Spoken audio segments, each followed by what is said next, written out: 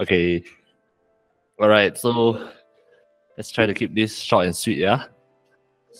So I tried to I tried to come up with like a title, but uh, this is the best I could come up with lah. So if there are some stuff in the slides that's not relevant, uh, it's because I just copy paste the slides last night.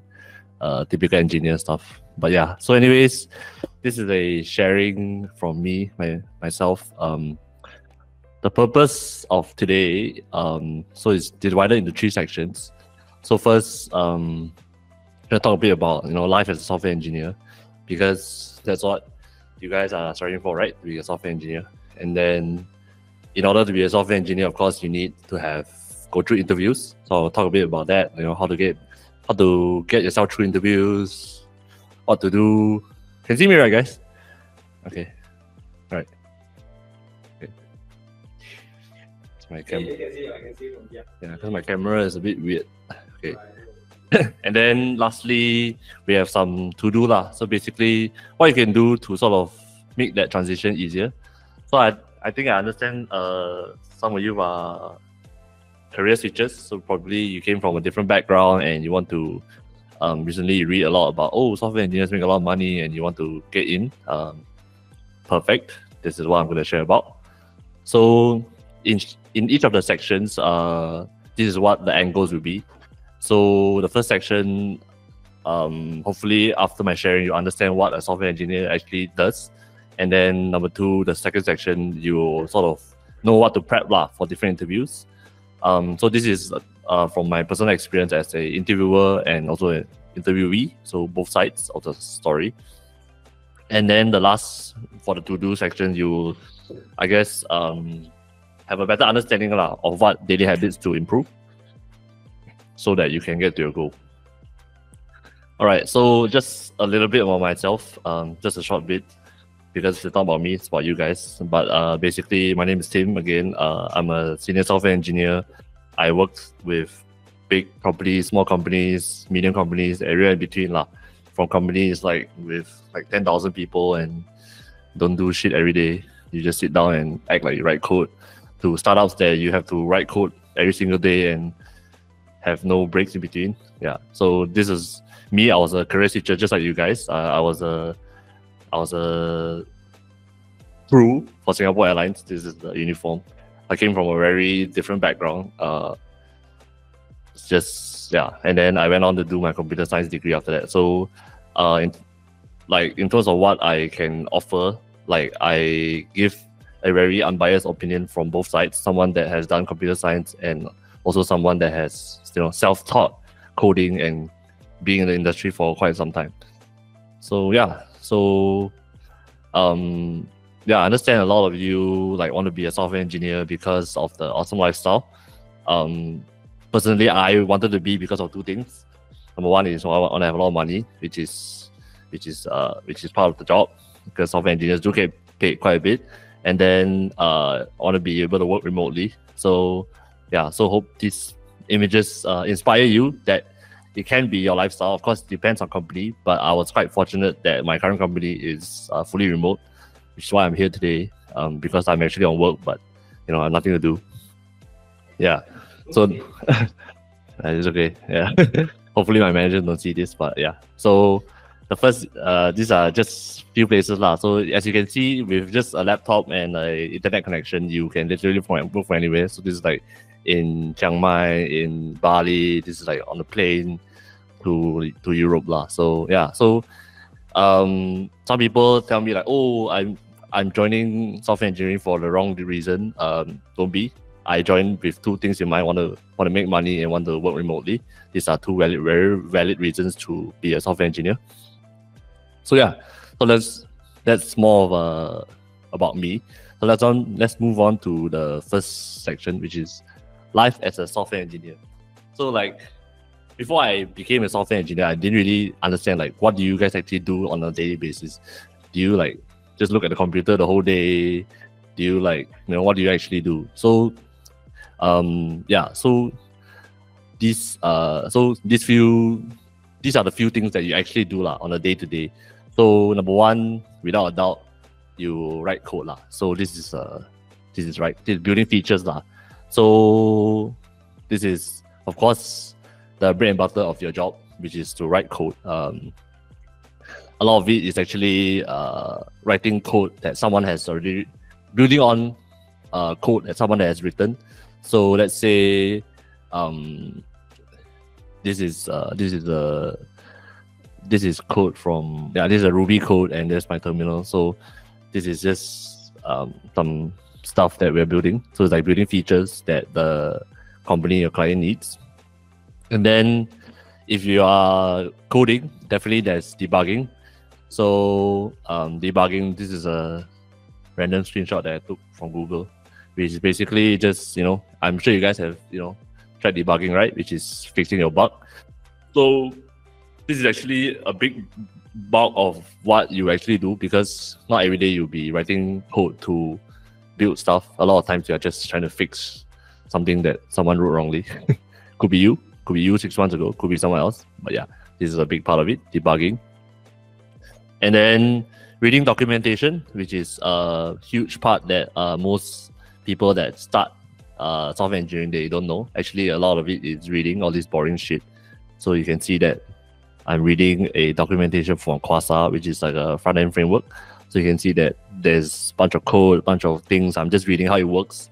So every day you are expected to read this kind of stuff to understand how it works, because uh, you know every day you are dealing with something new, lah. So this is something that you know you should be aware of. And then of course there's code reviews. So code reviews are like a standard practice throughout the um, tech industry. So started from like the big the big top tech companies like Google, like the FAANG companies, Facebook, Amazon, Apple, Netflix, Google. Um, so I can't really show you because uh, you know the codes are confidential. But basically, this is a list of uh, PRs. So we call it pull requests.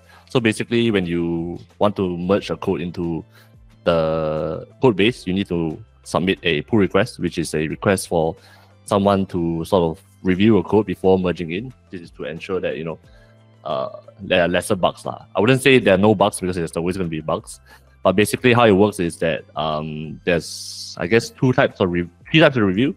So it can be peer to peer. So someone like, let's say me and you, we are the same level. Then we, you know, we write, I review your code, review my code. Or it can be top down, which is like a senior, a more senior person reviewing your code or it can be even bottom up. So like a junior reviewing a senior code. So really depends on company. For my current company, at, uh, we do top down only. So usually I will they will submit a pull request and then I will review. And you know, it's a really good opportunity to learn from seniors because you can sort of see like how they do stuff and at the same time if you feel like there's a better way you can there's a like whole conversation going on lah. so you can sort of discuss how how things are people usually like write, oh, maybe you should try this or this. I don't understand what, what this does. Yeah, it's a whole conversation before it's actually, we call it like ready. Once it's ready, then you ship it, lah, basically. Okay, then, yeah. yeah, and last but not least, um, the most boring part, which is meetings that every engineer hates. I myself hate it, hate it. Try not to have meetings at all. Always try to avoid it because it's uh, it's a waste of time, lah, basically. but yeah, um, it is what it is. Uh, we have to have it because a lot of times you gotta discuss how things work. So, like any other job, the more senior you get, the more meetings you have, which is which is a drag. But yeah, something they cannot avoid.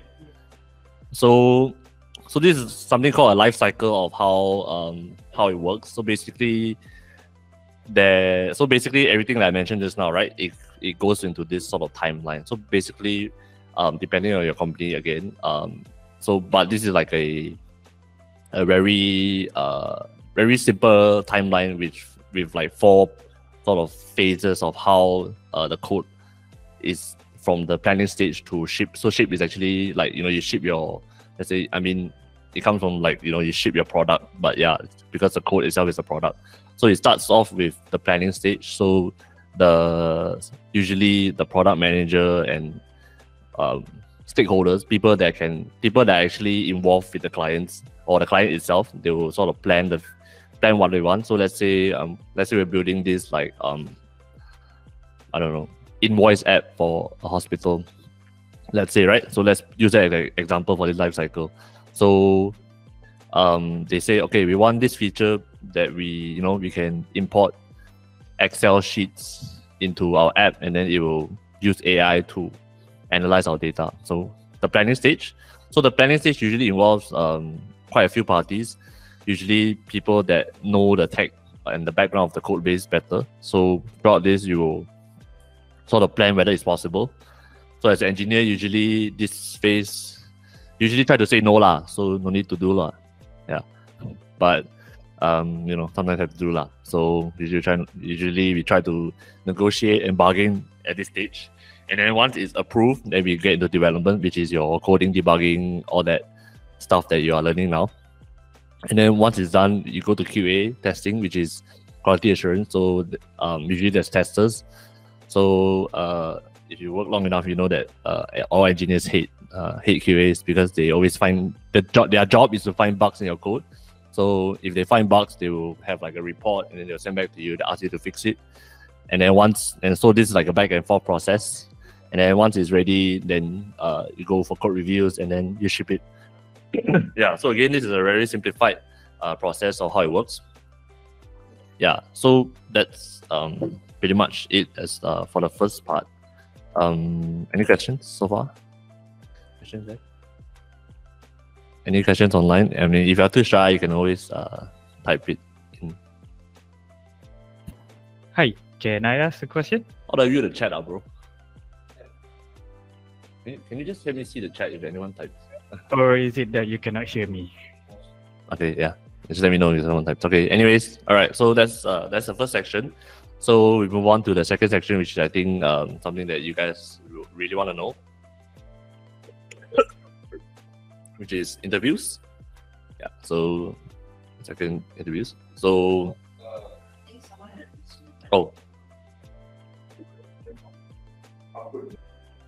sorry sorry. Can you can you, can you repeat the question? Oh.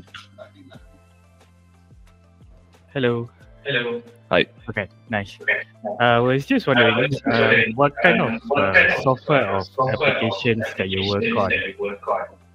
Oh yeah, you mean currently or like just in general in the past? Engineering. Um, yeah. So throughout my time as an engineer, I, I worked on like huge software where like banking.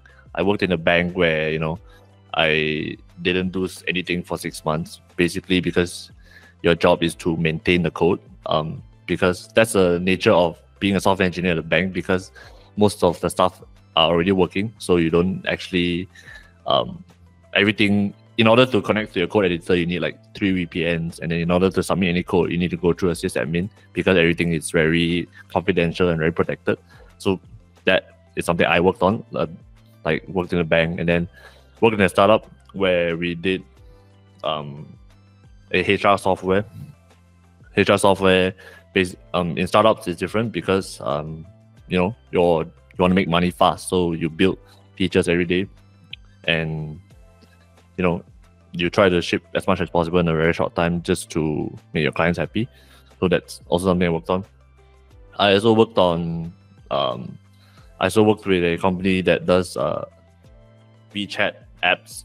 So that's sort of mobile apps, but within the WeChat ecosystem.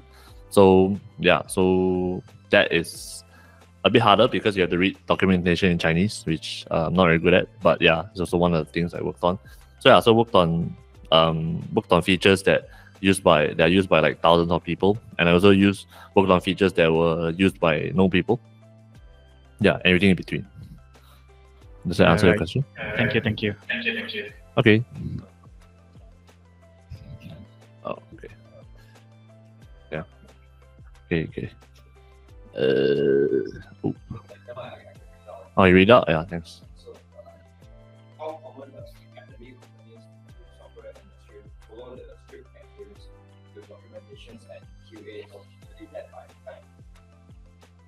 how common does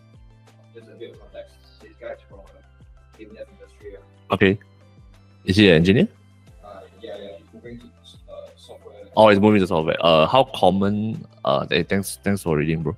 Um, yeah. Um, this is a very subjective question, but uh, try to answer it as best I can. How common? Um, it really depends on company. I worked in an embassy before where they are super strict with uh, following uh, guidelines because they uh, they basically work with the government, so compliance is uh, key. So in that case, they can be very very strict. So everything you write down to like the spaces between your code, like how how many times you enter, like we call it code formatting, is very very strict. So everything you do is sort of um, very very controlled. And then they build, they sort of narrow down your features to like a very small sort of section, like we call it ticket. So they can probably like give you like a week to build a button because the button has to match the um, sort of style of or functionality of the entire application. So, and then yeah, that's on one end where it's very strict, and then there are more loose MNCs where they like, for example, um, my friend works in an MNC, but they, you know, tech is not their main um, product. The tech sort of just helps them with um, their offshore clients. So they have a sort of page that helps that they built for their support support engineers. Um, no, sorry, support like specialists. You know, those people on call centers. So when you build those, um, of course, it's a lot less, uh, a lot less strict, a lot loose because you don't really need to. Um, it doesn't it doesn't go out to the clients. You know, it's internal use. So if there's any problem, you can fix it straight away. They they don't they're not selling that as a product. So if if that's the case, then it's a lot less loose. Yeah. So it can be it can be really both. It really depends. Yeah. But if you come from the game dev industry, from my understanding, uh, it depends on what you're working on. If you're working on like very specific stuff like engines and all that complicated stuff and you know physics engine and all that stuff, it can be uh, there's a lot of unit tests that you have to do because you have to make sure things are calculated correctly. But let's say you are let's say you play League of Legends and you're working on I don't know the the client, the game client, which is you know, it's like it, it doesn't really it's not really the core of the product. So it can be really loose. A, a lot of things are not tested properly because they just want it to work. It's like an entry to the actual product. So yeah. That's that's my that's my take on it. Lah.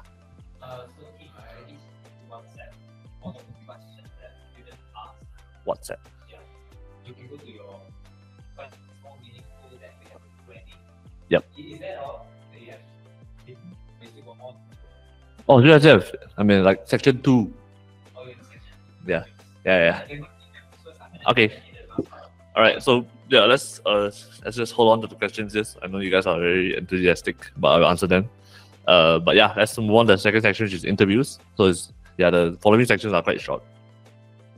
So yeah, so ignore the stuff on top because uh yeah, like I said, I just copied. So in order to understand interviews, you have to understand um, the type of companies that you apply for. So it's top tech. Uh, this should be this should be uh, MNCs and then startups. So uh, should be like medium-sized corporations, are basically. So below of each section, I sort of listed down what uh, a few things. So LeetCode, DS algo, system design, take home, portfolio, take home. So we'll go through them one by one, then we'll come back, revisit this, and I'll sort of explain why. So first is LeetCode.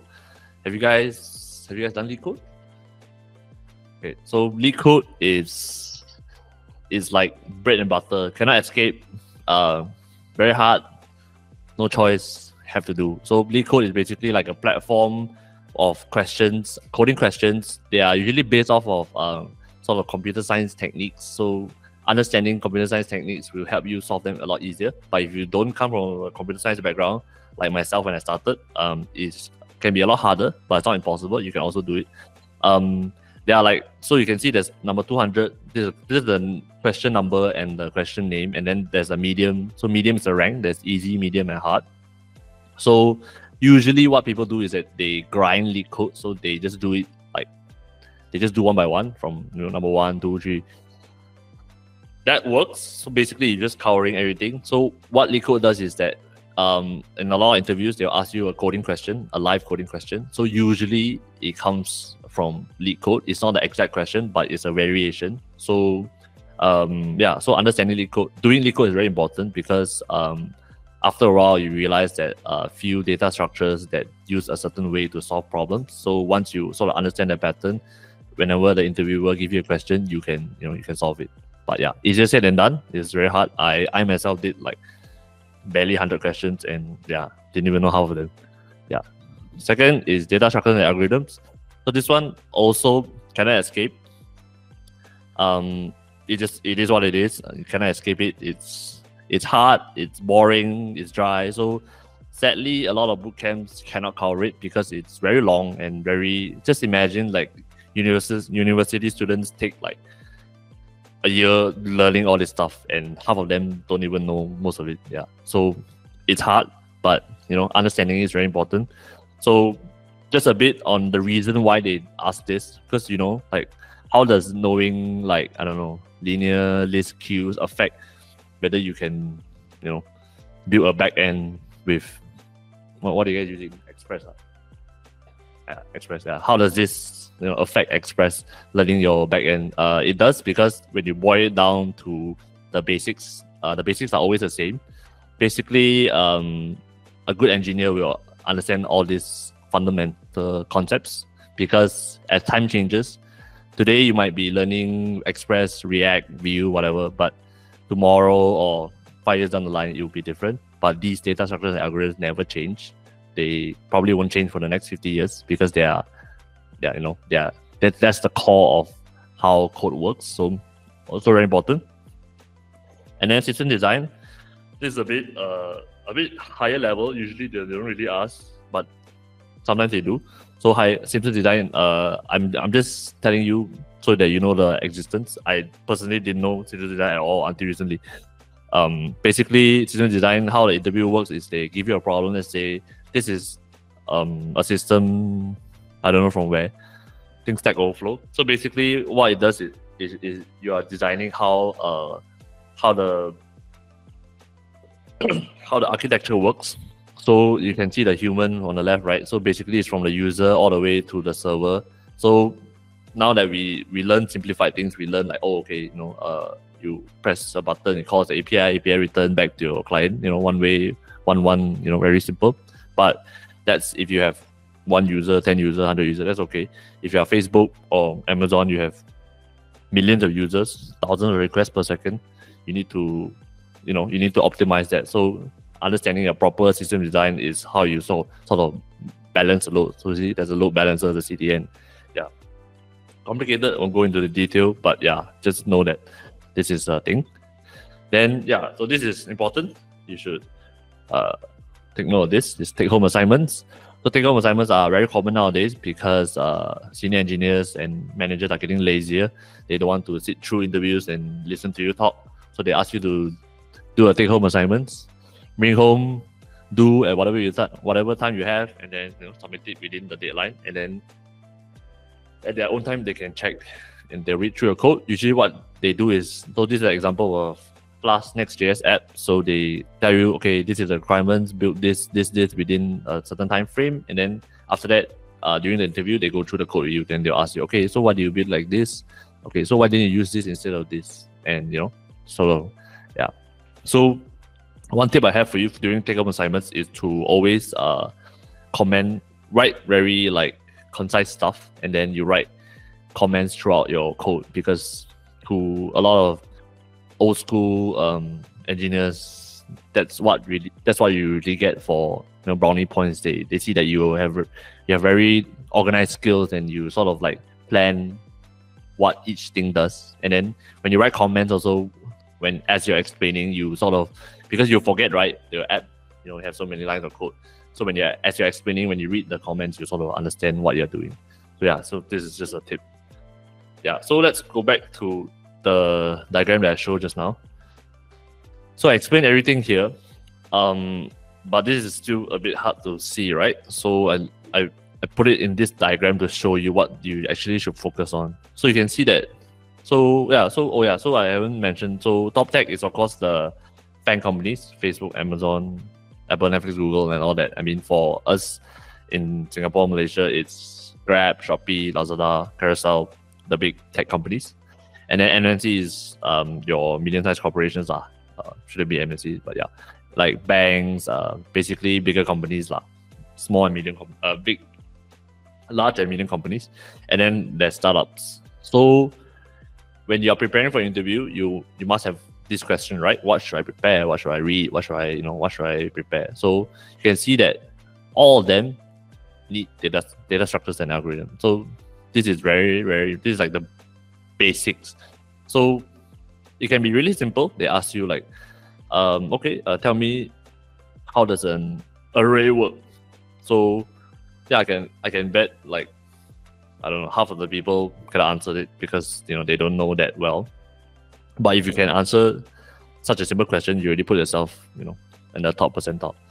Yeah. So data structure and algorithm, very, very, very basic, bread and butter, have to know. Cannot escape. So you can see all three, all three you need it. So LeetCode, yeah. So LeetCode, a lot of people say that you don't really need it. Um, yeah, which I sort of agree.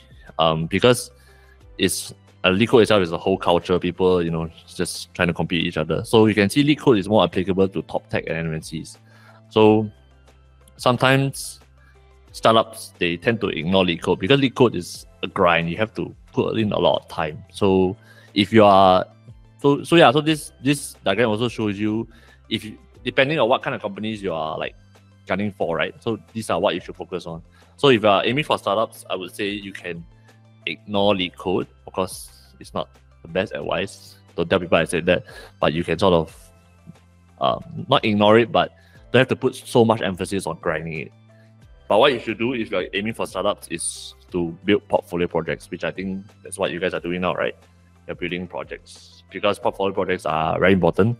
Startups, basically, so you can see startups is sort of like the different animal here, whereby they want to look at portfolio projects because startups they want to build things fast, right? They don't have time to see whether you can sort an array or all that all that stuff that you do in LeetCode. They just want to see whether you can build. So if you have portfolio projects, it shows that you can build. But that's good enough.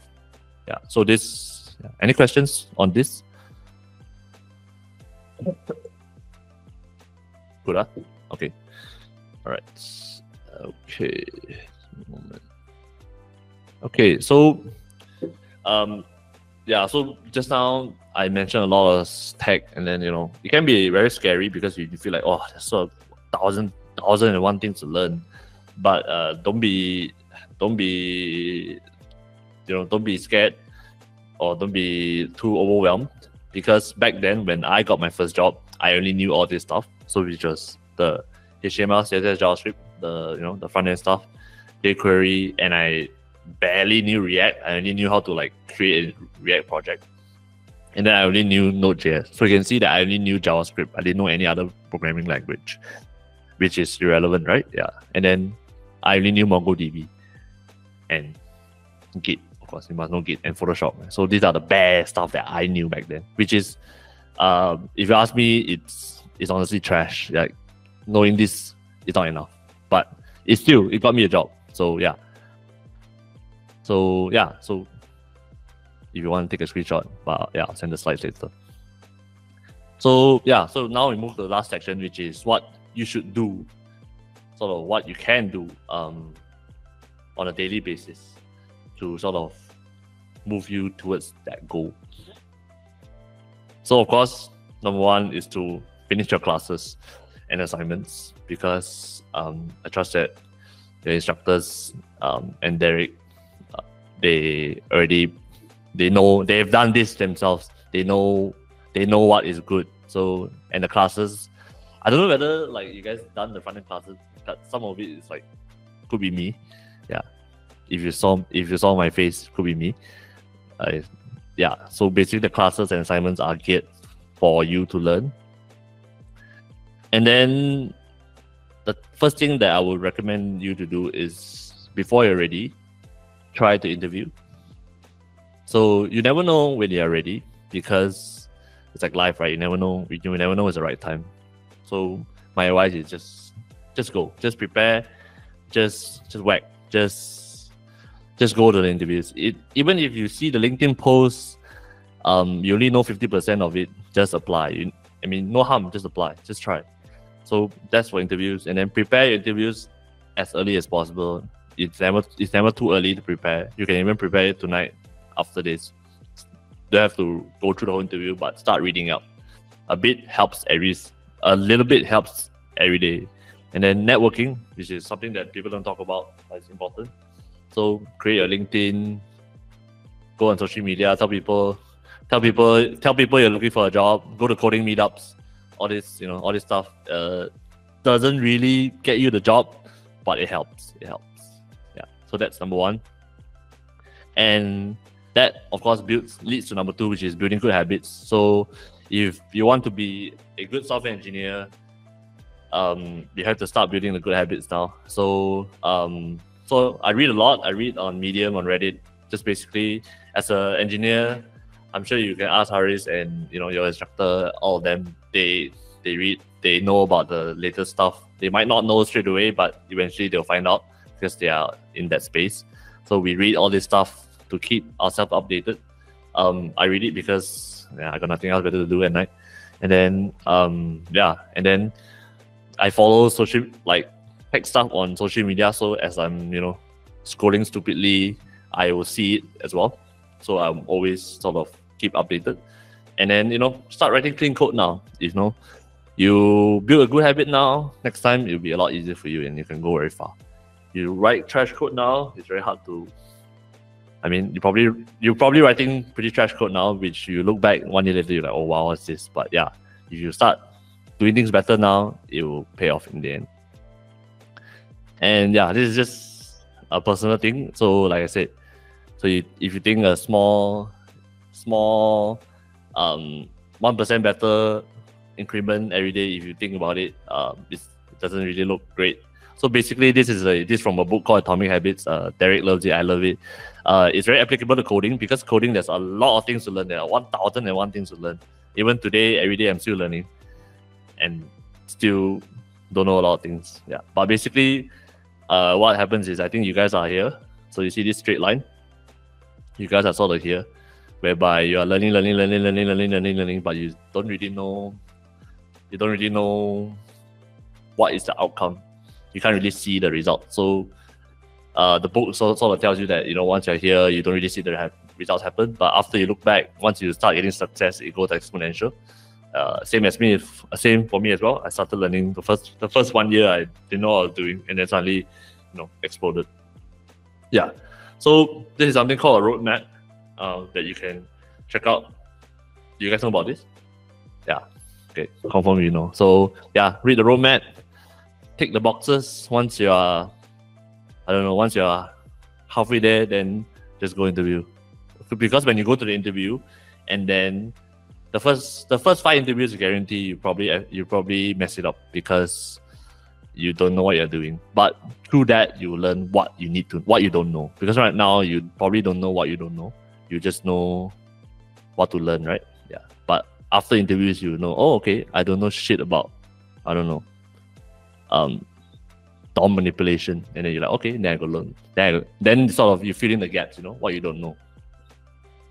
Yeah. So, so yeah, that's um, that's pretty much it. I think the bulk of it will be the Q and A because I think you guys got a lot of questions. So, okay, great. Okay, awesome, bro. Timer, ah. how to uh, how long? 10 minutes? All right, so it's 12:40 now. I don't have a timer. Let's just yeah, I'll just let you guys know when it's 12:45. Yeah. Then in the meantime, any questions? Please let me know. Um. Oh yeah, so if you are too shy to ask questions now, you can always uh follow me and or drop me an email. This is my Twitter, which I'm pretty active at, and my GitHub. Um, yeah, shoot me a question anytime. I'm free. I'll reply you. LinkedIn, uh, uh, got, got, got. Just search, uh, team, just search Tim Wong. I'm probably there. Yeah, yeah. I didn't, I didn't edit it. Sorry. yeah. So, you me drop the link, bro? okay. Yeah. Uh, actually, I think I can just read from here. Okay. All right. Says a. Sorry, uh, cannot see. All right. Have I answered this? I'm new to coding. Oh, hash table. Okay. This one, right? What's your advice on networking? Oh, okay. So this is a very uh, underrated advice, but networking is actually very important because um so a lot of people think that networking you go there you meet your like you sort of like get a jackpot you meet someone and he's like hey bro you want a job? Then he give you a job. So if you think like that then probably you won't benefit from coding meetups because that's not how it works. Um what how it works is what I gain from uh sort of meetups is that you sort of put yourself in the environment because you go there everybody's talking about code everybody is like everybody are nerds there there are people that are like talking about stuff that you don't even know what what they're talking about. So being there just gives you makes puts you in an environment to sort of be in the industry. And then you hear people talk about things like what are the latest stuff and you're like oh then you know basically put yourself in an environment. Um, a lot of times you you probably also meet a lot of recruiters there as well. Of course they won't give you a job straight away but getting to know them is very important because you get their linkedin and then you know if they do have anything want in the future they will of course sort of you know let you know. So yeah coding meetups are important. Not um not compulsory don't have to go every don't have to go but you know good to have good to have. Uh hackathons coding meetups uh no coding meetups are like uh coding meetups can be like anything. Um hackathon is part of a coding meetup. So hackathon is basically like a short session where you um not short session basically like a certain time period where you try to build something so yeah it's not the same thing. Coding meetups can be just like sharing. This can be a coding meetup as well. How do i know how do i know should i look for a job at mnc or startups? Yeah so this is a this is a really common question uh good question uh. So yeah it depends. Like personally as a career switcher at the start it's always easier to join startups because startups usually have a so just now you remember the thing I showed top tech, MNC and startups. So it's also ranked in difficulty. So startups are easiest to join because startups sometimes uh they not sometimes a lot of times not enough not a lot of money right not a lot of resources so they just want to get an engineer in quick but startups are good because you learn very fast because you are hands on every day you don't like they tell you to build this you know there's no there's not a lot of hand holding you just go there and you just do. So startups are like that's a, that's the nature of start- startup. You learn a lot. But workload can be quite tough because you are trying to meet deadlines every day. MNC like I said um depends. So it can be very chill like my job at the bank where I didn't do anything for six months. Or it can be also very like if you work in a consulting tech consulting firm then it can be also stressful because they sort of switch you between projects. So let's say they tell you that three months you're working for this client where they use, you know, like Java, SQL, and very boring stuff, very old stuff that you don't even know how it works. And then once you're like comfortable learning it, then they're like, oh, okay, actually they don't need you anymore. And Then they move you around to another another startup. So yeah, and then they say, okay, you have to you have to go to office every day. Yeah, and then suddenly two months later, they say, "Oh, okay, you want to move to this this place where you have to fly to Vietnam every Friday, yeah, something like that, lah." So very common. So yeah, it really depends on you. So what you want to join, but I would say you know try both. Don't just limit yourself to one. I just attended the last Monday. They weren't looking for a personal answer. Oh yeah, so yeah, this this is you guys can see this right on my screen. Yeah, so this is very good. Um, yeah so a lot of times when you interviews even so so this is the tip for you right? Even if you don't know how to solve the problem don't just don't just sit there and like don't do anything. So sort of um so so like personally i encountered a lot where where the candidate didn't know like how to solve it right? Then they just sit there and they don't do anything. They just and they don't even talk to me. So this is like usually if that happens like straight away like my manager would just turn off his camera and then he'll tell me, okay, this one out. So this is like like a red flag because what happens is a lot of times it's not really about the answer, it's about how you get to the answer. So we sort of see like so a lot of times the interviewers are trying to gauge how you think. So let's say they give you a problem and you are like 20% there, and you don't tell them what is your problem. So so they don't know how to help you also. So it's very, very important to tell them the thought process. So say, okay, I'm creating this and I'm trying to do this, but mm, I'm having a problem because I don't really know how to do this. So if if they see that you have this thought process, they will sort of guide you through it. So interview, uh, an interview is always a two way process. So you have to sort of convey your ideas to them. So once once you know you sort of walk them through what you're doing, it's easier for them to sort of navigate you as well. Yeah, so it's very it's very, it's very good. What's the under? Wow, okay, a lot of questions. Okay, what are the underrated and most useful tips you use when self learning? Oh, um, underrated ah. Hmm. Yeah, do every day lor. So underrated. Yeah, really underrated. People think that do every day, you do every day is very simple, but you think about it, do every single day for 365 days. Not I'm like not many people can do it. Yeah. Even even I myself probably will like, you know, miss one or two days because you're lazy, right? But yeah, do every single day. Just try, to do like every single day. Okay. Do you have experience working with government agencies? Oh yes, I do. How does it compare to private companies? I always see how terrible government websites are. okay, so uh, this is like because of Malaysia, right?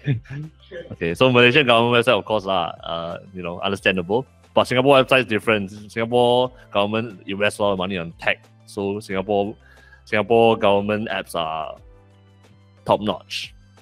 Yeah, I actually work. I actually worked in worked in a government agency for a short while. Um, but yeah, we um my experience is that they are very like I said, because government, right? There are a lot of uh, compliance stuff that you have to adhere to. So you have to um, follow a lot of rules. Then um, there's a lot of hierarchy. So do everything also need to approve, approve, approve. Um, which is good, I guess. But um, so this is I don't know about other government agency, but my experience was that there were a lot of room to for mentoring. So they like to take in junior people and then they sort of mentor you because they want you to stay long term, right? So they sort of brainwash you when you're like just joined and then they sort of teach you a lot of stuff and then your mentor who my mentor back then was like I don't know, like I didn't do much coding every day. It was just like they're just teaching me and just like code, like just sort of like explaining to me a lot of concepts and then teaching me and then yeah, like government government agency, a lot of processes. I mean this for Singapore. But yeah, I think Malaysia as well. Basically government because they are very official, right? So they try to do things in a real uh, systematic manner. So everything you need to file a ticket and then to wait for approval and then do this and then wait for another approval. So yeah, just creating a button takes like a month. Yeah, which is quite normal. How prevalent is imposter syndrome? Oh yeah, it's very normal. Um, I I still do get it sometimes, even now. But yeah, it's very normal, especially when you're at the start. Um, the only way to deal with imposter syndrome is to just continue, just push on. Um, know that, um, yeah, it's it's good to be stupid because then you know like you know what you don't know. If you are like, you don't have imposter syndrome, means like you are, I don't know, too arrogant and you think you know everything. So yeah, especially you're coming from a self taught background. So yeah, self taught. Um, a lot of people look down on it because like oh self taught, you know. But you know, I came from a self taught background and then I did my computer science. So do both, and I and I can honestly say, a lot of computer science students are horrible. they don't know they don't know anything. Yeah, they don't know like they only know like they only know the math part of stuff. They don't know like a lot of things they don't know. So self-taught people have the advantage because yeah, they actually do a lot of um, you do you do a lot of self-learning, which is a very crucial aspect of being a software engineer.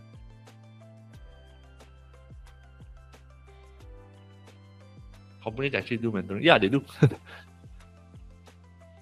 yeah, the prejudice against self-taught is is real. Is uh, not really not really that bad. But yeah, what's my tech stack?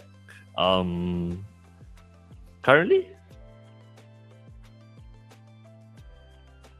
Oh yeah. Um, for my current company, we use Ruby on Rails. um, which is um, do you guys know what's ORM? Yeah, it's uh, it's Ruby on Rails. It's so basically it's a very opinionated framework whereby there's a lot of rules that you have to follow. So a lot of startups they like to use this. So I'm actually in a startup now. Yeah, Ruby and Rails. Thanks, bro. yeah, so Ruby and Rails is very uh, opinionated because there's a lot of rules. Uh, they have they they are sort of they have this thing where they call convention over what's it called, bro? You know what it called? Convention over something. Yeah, basically they you're supposed to follow like you cannot basically a lot of things you don't have to configure, but you have to follow the style. So you have to put you have to name certain things or everything you have to name. Uh, convention convention over configuration. So basically you're not supposed to configure the settings because they want you to use it the way they built it. Yeah. So yeah, we use Ruby and Rails. I use React Native, Vue.js. Um, yeah, but as you sort of get more into software engineering, you realize the tech stack is actually very relevant because most of it are the same. Yeah, I think they agree as well. In coding to bootcamp, there are a lot of tutorials and practice. However, how do we build our skills in coding mind, like building from scratch when you're given a problem? Oh, this is a very good question. Um, so how do we? Oh, it's a good question, but I don't know how to answer. but basically, um, yeah, just it all comes down to like practice. So the more you do, the more you sort of train your mind to think in a certain way. But it's a very, very important sort of mindset to have because a lot of times, um, newer engineers they they can't get the solution because they think they think they don't know how to problem solve. So they try to use a lot of tools. So it's like so it's like an example where I tell you to get a balloon from the ceiling. So naturally you say, okay, get a ladder, right? But so the coding mind comes from like what can I substitute the ladder with, you know? So there are a lot of ways to think about it. A simple problem. But sometimes people if you don't train your coding mind enough, you don't really know what you can substitute it with. So you just keep trying random tools. You just keep putting chairs, chairs and chairs and chairs and chairs.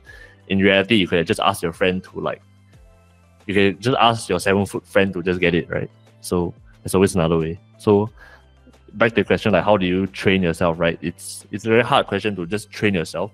But yeah, the only way to just just keep practicing and keep trying, and then sort of after a while, you sort of your mind will sort of find the solutions easier. There's no there's no shortcut lah. There's no shortcut. Do you code more or less? The most yeah, I code a lot less. Uh, as you can see, I'm at work, but I'm not coding today. Um, I'm talking to you guys, so yeah, don't code that much as you are. Yeah, you don't code that much as you are getting more. It's, it's very normal like other jobs. You the more you the more you are there, the lesser you actually do, and the more you sort of just manage yeah, very similar other jobs, not just coding.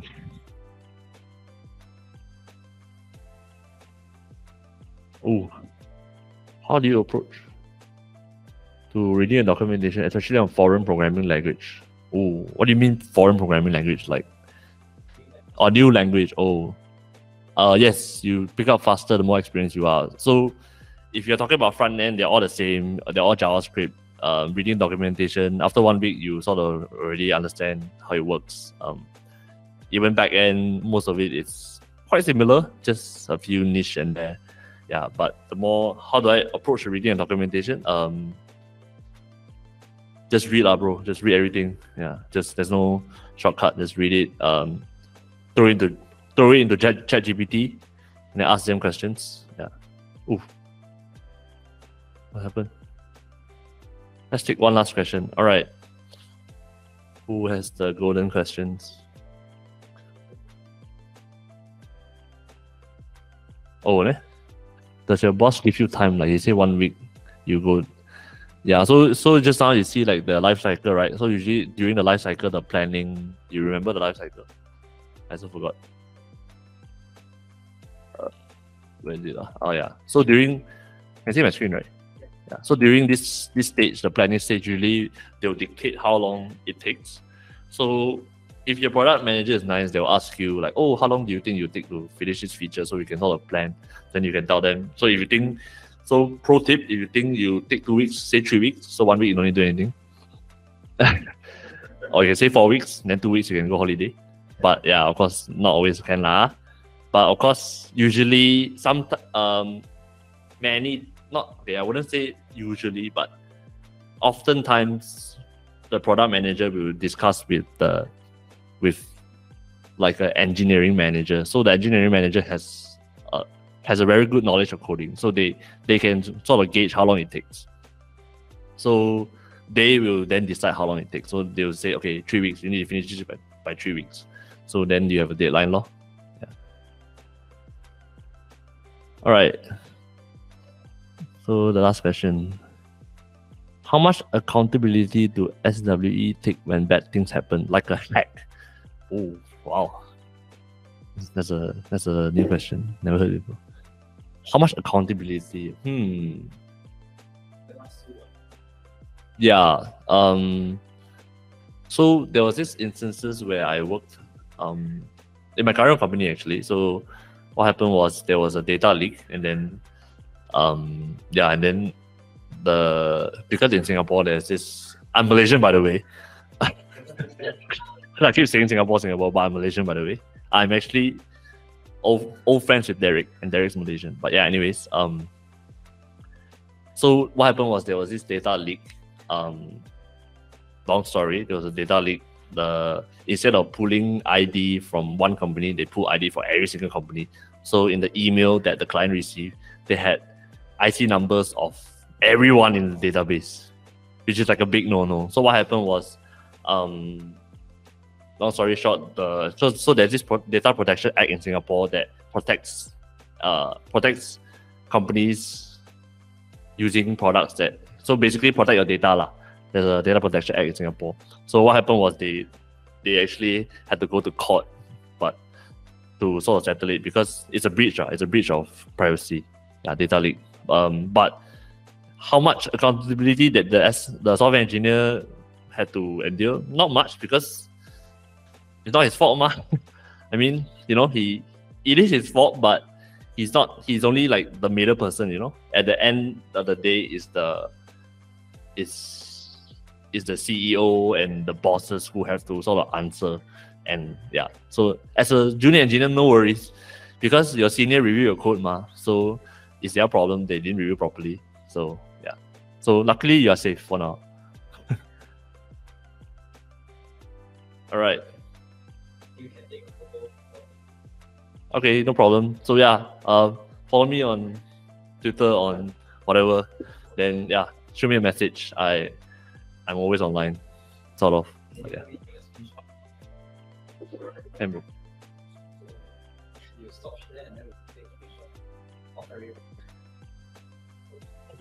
Thanks for the thanks for the confetti, guys.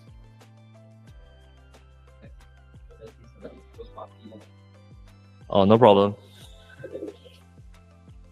Yeah, if you have uh, I so yeah, I used to like teach coding also. Um, but for some reason, uh, don't know why they're like very shy to ask me when they have interviews. Like, but yeah, so so yeah, so for you guys, if you if you have any if you have any interviews and you are like curious how it works or what you should prepare, yeah, just drop me a message. I I can I cannot guarantee I'll help you get the interview, pass the interview, but I can you know can tell you can help you lah, can help you.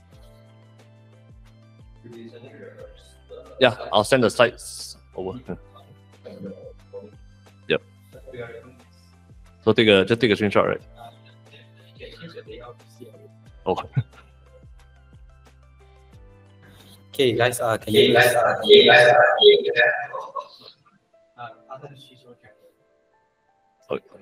so I, I muted myself already. yeah, okay. Can you guys switch on the camera so that we can take a good photo? Change layout. I think it's third option.